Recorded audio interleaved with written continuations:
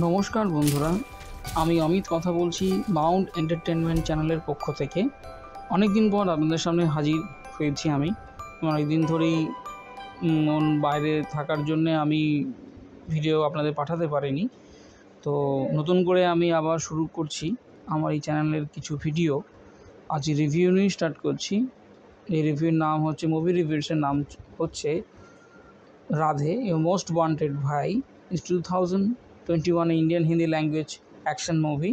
Director হচ্ছে Prabhudeva produced by Salman Khan, Sohail Khan, Atul Agnihotri and Zee studio এরা সবাই মিলে কাজ করছে এবং কি জ্যাকি শ্রফকেও দেখা যাচ্ছে। এবং এই ফিল্মটা আপনার রিলিজ হতে চলেছে তেরোই May two thousand twenty one চলুন শুরু করা যাক এই ভিডিও ট্রেলারটি